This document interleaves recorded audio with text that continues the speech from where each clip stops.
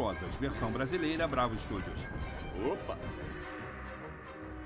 Meu Deus. Minha nossa!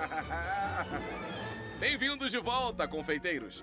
Vocês estão um passo mais perto de ganhar 25 mil dólares. E o título de campeão da disputa dos confeiteiros Halloween. Eu amo Halloween. Como uma fera se escondendo na floresta, uma festa de Halloween também pode surgir do nada, deixando um confeiteiro com pouquíssimo tempo para se preparar. Vocês têm 45 minutos para transformar dois desses alimentos industrializados em doces deliciosos. Transformações sempre me lembram Halloween, porque é uma época de remendar as coisas, fazer fantasias. Halloween é o dia das transformações. Confeiteiros, uma vantagem na etapa principal está à espreita. O tempo começa. Agora.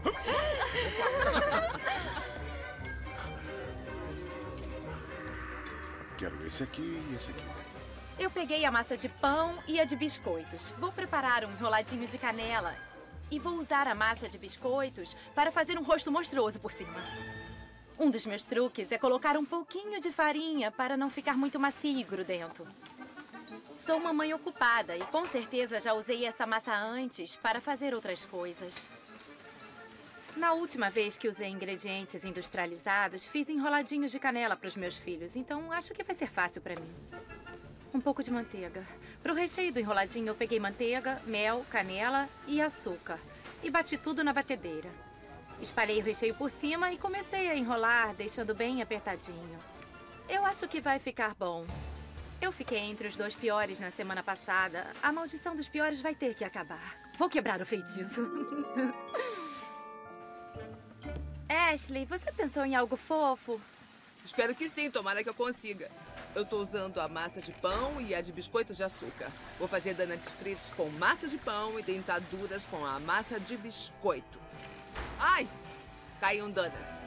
Mergulhei eles num pote com açúcar e canela. Aí pelo menos uma parte do meu desafio já foi feita. Abrir a massa entre papéis, em vez de usar a farinha, faz com que ela não seque e nem fique farinhenta. Ai. Então eu comecei a cortar os biscoitinhos em formato de dentes de vampiro. Ai, tá esquentando. Ai, nossa. Como estão as coisas, Ruth? Tá tudo bem, tô quebrando os ovos. E por aí, como é que tá? Isso vai levar uma eternidade. Que chato. Eu quero apresentar um pouco da minha tradição familiar e mostrar aos jurados um pouquinho do sabor latino. Com a massa de biscoitos, eu vou fazer uma caveira do Dia dos Mortos. Com a massa de torta, eu vou fazer uma torta de chocolate mexicano. O Dia dos Mortos é o dia seguinte ao Halloween, por isso eu meio que juntei os dois.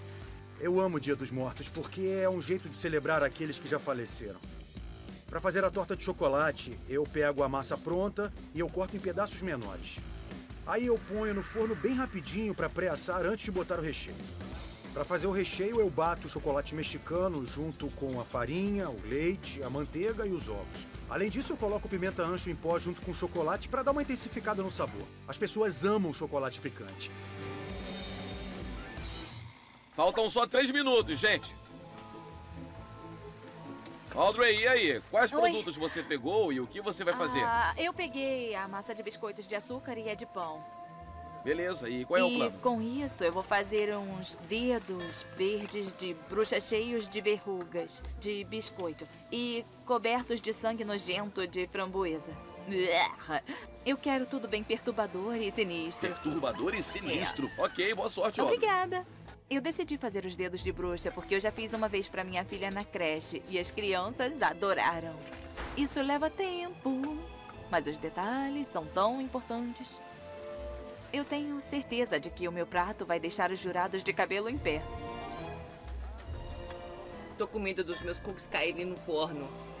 Por isso eu tô botando essas bolinhas de papel laminado aqui. Pra tentar manter o formato.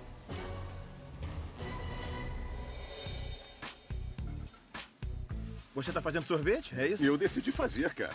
Quem vai pegar primeiro? Sinto que Jason é meu maior adversário. Ele também tá fazendo sorvete. Vou te falar uma coisa. Com certeza o meu vai ficar melhor. Tem duas máquinas de sorvete. Duas máquinas, parceiro. Contanto que mais ninguém faça, tá tudo certo. Eu decidi usar a massa de torta e a massa doce de biscoitos. E essas bolinhas de biscoito vão pro meu sorvete. Vou fazer sanduíche de sorvete com massa de torta caramelizada.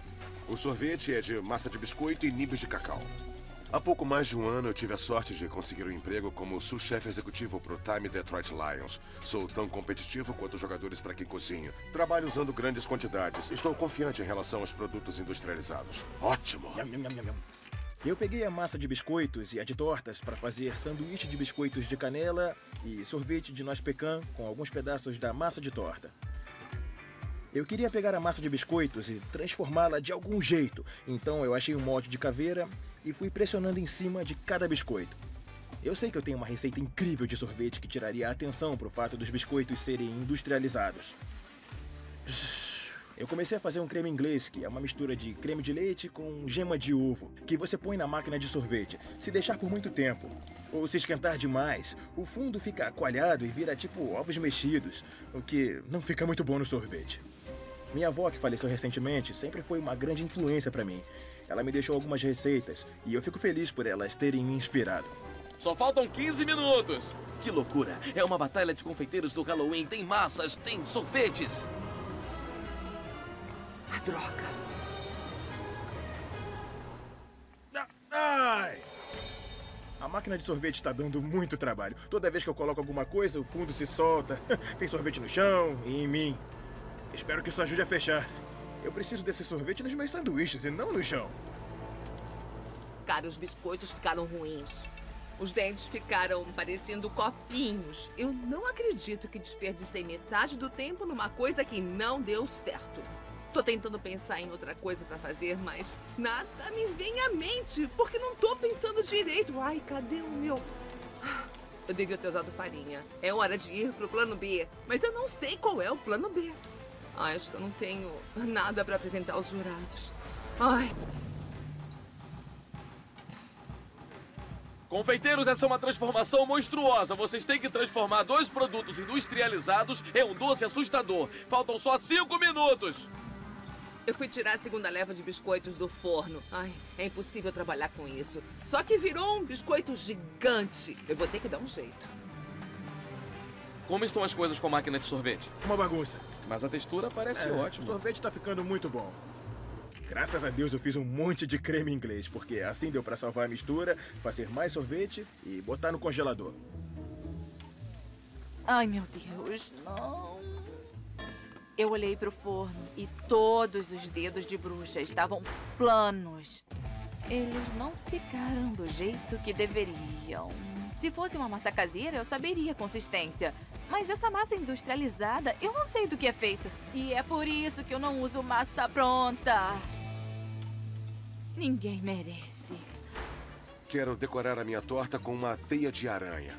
Então eu desenhei um padrão de linhas. E aí usei um palito de dente para desenhar a minha teia. Vamos ver se eu consigo salvar os dentes. Só tinha um quadradinho no lugar dos dentes e ficou parecendo uma dentadura. Então eu peguei o ganache que eu ia colocar dentro dos donuts e mergulhei a parte de cima dos biscoitos no ganache rosa. Ficou parecendo uma gengiva, mas eu não tô com esperança. E o tempo passa voando. Tipo, a bruxa do oeste. Uh! Só faltam dois minutos, confeiteiros. É hora dos toques finais. Meus filhos iriam adorar ganhar isso aqui na manhã de Halloween. Açúcar de manhã pra ganhar mais açúcar à noite, que tal? Tô tentando fazer máscaras do Dia dos Mortos, mas não tão ficando muito legal. Parece o Mickey Mouse. Os biscoitos de caveira parecem personagens de desenho animado. Eu encontrei flores comestíveis. Eu espero pelo menos ganhar uns pontos pela apresentação. Só tem mais um minuto. Eu tô vendo muitos de vocês correndo pela cozinha. Bandejas grandes, cadê vocês? Eu tô confiante, tá no papo, irmão. Minha sobremesa ficou exatamente como eu queria.